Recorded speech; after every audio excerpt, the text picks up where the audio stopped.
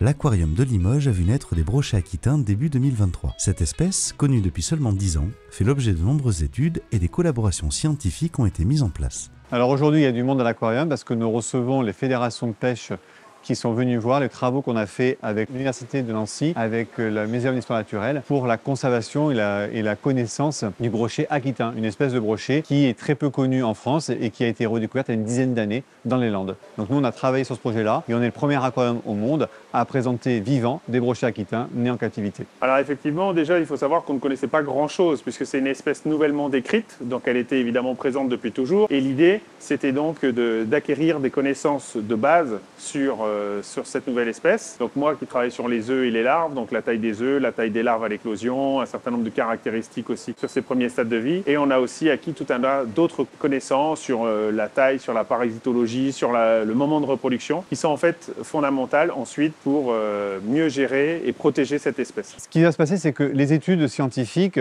elles se passent régulièrement partout en France, mais c'est une des premières où on a une collaboration avec un aquarium public. Pourquoi une collaboration avec nous? Parce que nous, nous avons la chance d'être ouverts 7 jours sur 7 toute l'année et donc d'avoir du personnel 7 jours sur 7.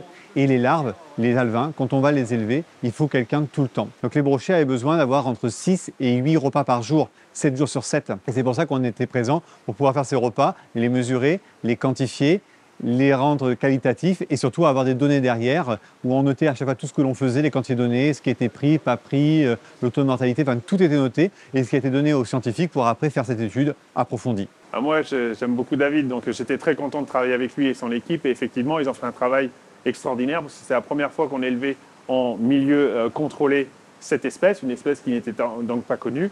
Donc on a envoyé des œufs et ensuite ils ont fait euh, des essais d'élevage avec des taux de réussite très importants et il y en a encore quelques-uns qui sont exposés aujourd'hui. Et ce qui est intéressant, c'est ce partenariat qui est assez rare en fait entre universitaires, aquarium euh, public et aussi euh, des fédérations de, pêche. Tout ça pour mettre en avant une espèce, euh, je dirais, patrimoniale très importante dans la région et puis plus largement pour la France métropolitaine. Pour les bébés brochets, c'est la meilleure nurserie de France que c'est le seul endroit où des bébés brochets sont nés comme ça en captivité. Brochets aquitains, je parle toujours.